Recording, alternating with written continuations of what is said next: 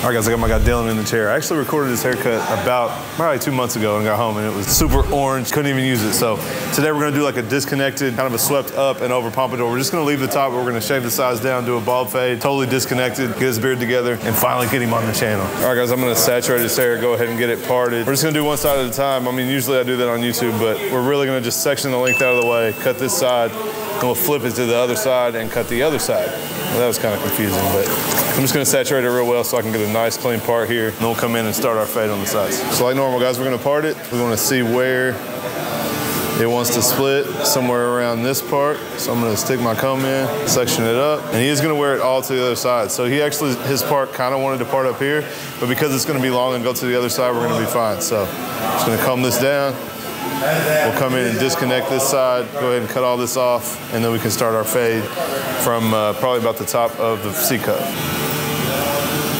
We'll add this back section in, make sure we have a nice clean part. And I'm gonna actually put some grippers on it just to make sure that it stays out of our way. If you guys don't have any of these, these are hair grippers. These are Babyliss ones, but there are a bunch of kinds. But you guys see, you just stick it on and it holds the hair out of the way. I'm gonna start off clipper over comb. We're just gonna clipper over comb all this. I know you guys wanted some clipper over comb videos. I did a couple tutorials and I've actually been implementing a lot more than I used to. So I'm gonna come straight up, square, up the head. And I know I taught you guys to use contrasting combs, but we're doing this totally square. I don't really need to see anything, but just feel the head shape. So I'm just taking it straight up square and cutting straight along. My lever is all the way open. I don't have the one guard on. This is just an open lever. And I'm just making sure it's square and cutting it from uh, cutting straight up the parietal ridge. And not really a weight line, but just kind of a, a square haircut. We'll work our way to the back. I'm gonna do the back separate. So all I'm worried about right now is this side panel right here. You see that quick, guys? We gotta cut down, we can come in and start our fade. So we're gonna just start up here at the front of the C cup. We're gonna follow the same shape of this parting. So if you guys could perfectly, matter of fact, let's take our comb is here. There's our parting. So our bald line is gonna follow that exactly like that. So I'm just gonna, I'm just kind of looking up there as I cut the line in, just following that natural, natural head shape. Now I wouldn't call this a drop fade, guys. A drop fade is really exaggerated dropped in the back. This is just kind of a natural to his head shape fade. Most of my fades I do drop slightly in the back. So you guys just want to follow the head shape. Sometimes we'll go straight around, sometimes we drop it slightly. And if somebody wants like an extreme drop fade, we can go in there and super drop. So you guys know I like to bald out with the slim line just a little bit and then come in with the sharper trimmer up into the slim line. That does two things. That's gonna let us bald out easier with the shaver. It's gonna leave less of a line. And then when we go to our closed clipper, we don't have a bald line from a sharp trimmer. We have it from the slim line. So a little bit easier in both of those parts to work. And those are some things that you guys struggle with. So that will save you a significant amount of time. And guys, my best performing YouTube video of all time is my technique on that bald line. So if you guys haven't seen it, I will put it at the end of this video. And you guys make sure you check it out. All right, guys, so we got it balded out. We're gonna come in with the shaver. I'm gonna just go up about, about three quarters of an inch from that line that we put in. Make a hard line, and then we will use the shaver. We'll just tap with it and take the shaver line out. So that's another thing that's in that video. I know you guys struggle with shaver lines and trimmer lines, so I made that video just to show you guys how to make this easier. All right guys, next up, all the way open. I use my Babyliss because it has a taper blade. It is a little bit longer, so similar idea to what we just did. This open blade is gonna make the next transition a little bit easier. So we'll go about three quarters of an inch. We're following the exact shape of the guideline that we did to begin with setting in the open section, and then we'll come in with our boosted close. We'll take the ball line out. So super easy, guys. Remember, clipper closed at the bottom. If it's halfway open, we should be halfway into the section. If it's all the way open, we should be at the top of the section. So we're just bumping this line up slightly, just a little bit, leaving us room above it. Then we can open it up a little bit more. We go up a little bit higher. And then last but not least, guys, we'll take it basically on like the fourth notch and take that last line out. I do not have notches on this, guys. I prefer the floating lever. So I just explain it like that so you guys understand, you know, clippers have five notches most of the time.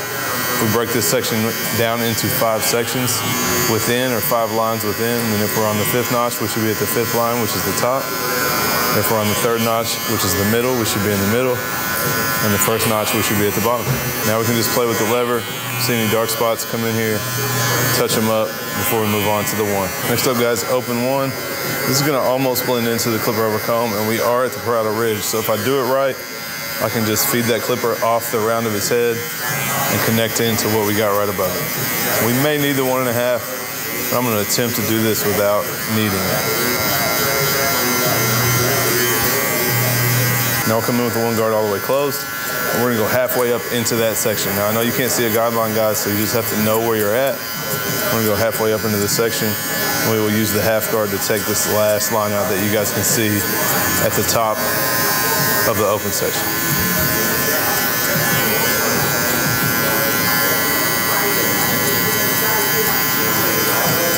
Last but not least, guys, half guard, half open. You can barely see it here. We can see it way worse back here. So we're just gonna cut where we know we're supposed to be. I'm gonna go through this just to make sure that everything's consistent. But if it looks good, leave it alone. Back here, we'll need a little bit more. So you see it's starting to take that line out. I wanna be careful though, this will cut a little short if I go too high. So see I'm taking the line out. If there's anything left, guys, we can close it up or we can go back to an open clipper. You guys do whatever your preference is. You can also open it up and go a little higher if we feel like we need to. You guys see this is coming together. We'll go ahead, blend this beard in real quick while we're on this side, and then we'll move on to the other side. All right, guys, so we're gonna do the beard real quick. The way I like to do beards, guys, I take a number two. I also know his beard really well, but I take a number two down, down his cheek. I'm not going into the bottom. I'm just coming straight down off the cheek. That's gonna give me a nice guideline. We're gonna fade the rest out, and then I'll bring my clipper in and line up the bottom. So I'll immediately flip it, number two all the way open. We're just trying to get about this point up, cut down to a number two. One and a half halfway open.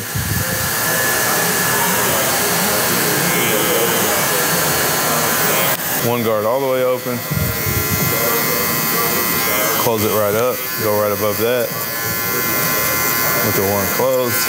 And while I'm right here, I'll just take my guard off. Lever open, half open, lever closed. And you guys can see his beard is faded out already. So I'll just go ahead and do it while I'm on this side. You guys can wait till the end and do the whole beard. Whatever you guys want to do. I like to just do it all at once. So now while we're here, I'm just gonna shape this. I'm gonna look at how full it is in the front. I'm gonna start right here, shape it in. I'm just gonna follow that line.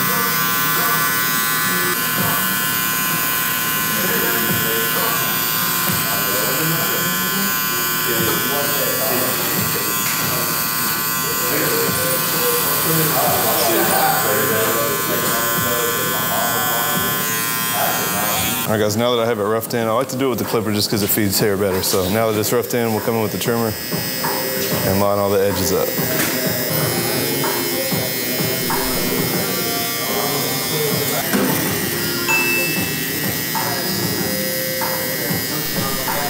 All right, guys, so same thing on this side. I'm coming back and start our part. We'll do the same exact steps as we just did on the other side.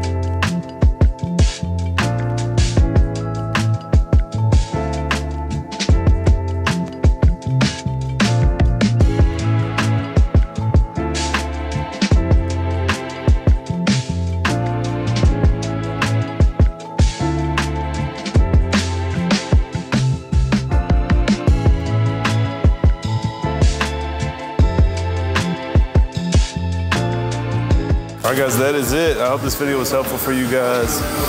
My man Dylan, we got him back together with the disconnected pompadour. I wouldn't quite call this the Brad Pitt Fury. Not quite as shaved and not quite as disconnected. It's disconnected, but if you guys like to hit that thumbs up button, you guys already know. Let me comment down below and let me know what you think of this cut.